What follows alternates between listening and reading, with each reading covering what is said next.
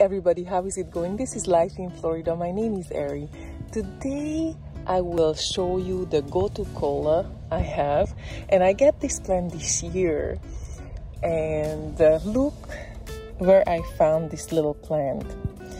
I got this encyclopedia of herbal medicine and I found it at the 76th page and it's supposed to be a wonderful herbal medicine. It says it called also Indian pennywort. Uh, Gotu Kola is an ancient Ayurvedic Ayurvedic remedy that is now used extensively in the West. It is useful tonic and cleansing herb for skin problems and digestive disorders. It's uh, actually pretty impressive what I'm reading. It says key actions uh, wound healer, tonic, anti inflammatory, sedative, peripheral vasodilator. And it says the traditional and current uses wound healing. Gotu Kola's main traditional use lies in treating wounds and skin problems. In Ayurveda, it is used specifically to promote healing in skin ulcers and serious skin problems, as well as to prevent scarring. The herb may be applied directly to the skin or taken internally. It appears to promote tissue repair throughout the body. It supports peripheral circulation and can be taken to strengthen blood vessels, varicose veins. Many people swear by Gotu Kola's ability to prevent and relieve arthritis and rheumatic problems. Uh, there's just a few to to be mentioned. It's pretty amazing what I'm reading and brain function. In the last 10 years, research has focused on Gotu Kola's ability to relieve anxiety and support healthy brain function. How amazing is that? A Thai clinical trial in 2008 found that Gotu Kola extract improved attention, working memory, alertness, and mood in 28 healthy volunteers in an average age of 65. Another small study found that Gotu Kola eased the symptoms of anxiety. That's pretty amazing. And the parts to be used, the aerial parts, have valuable tonic and cleansing properties. You can also use as a powder form or paste or infusion.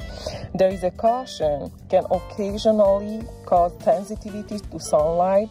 Restricted herb in some countries may cause allergic reactions in rare cases.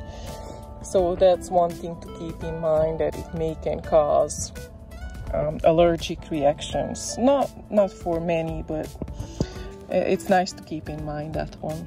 So yes, it's a, an amazing plant and I'm so happy a person shared a little piece with me this year. And at the time uh, I didn't even know what was this plant. She didn't remember the name either but she told me that it's good to eat it uh, good to juice it or put it in your salad. It's supposed to be good for the brain. And I'm like, oh, everything will come help my brain. That's wonderful. So anyways, that's how I got the plant. And at the time it was just, just a couple, maybe two leaves or a couple of leaves. And this is how much it grew. And uh, you can tell that it's uh, chlorophyll deficient because it didn't get enough sunlight due to the mulberry is growing way too fast and it shaded it out. So I have to make sure to remember to put it more out to the sun so it can get more green, darker green that it is normally. You can see it, it's more dark.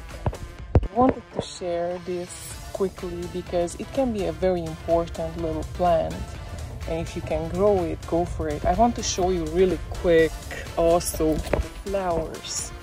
Very it's not like super you can see the flowers. They're not a big flower but i thought that i'm gonna show you because uh, in the book it didn't even show the flowers. I have to watch out for seeds from this one because i would like to plant more of this one It wouldn't hurt, certainly. Wish you a good week and see you with more plant videos later. Bye. Oh, if you like the video, push a thumbs up, it helps. And see you guys later. Bye.